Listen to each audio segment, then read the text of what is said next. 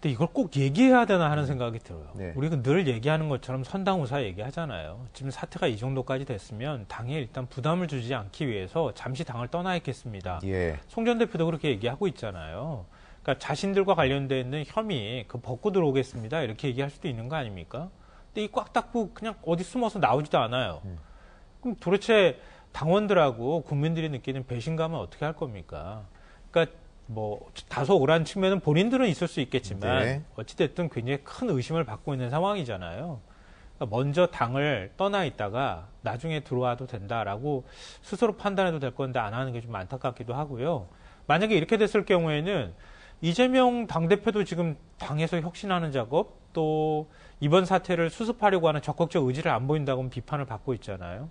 근데 박강원 신임 원내대표의 경우에 과연 그 정도까지 추진력 있게 이걸 수습할 수 있을까 하는 의문을 또 갖게 되거든요.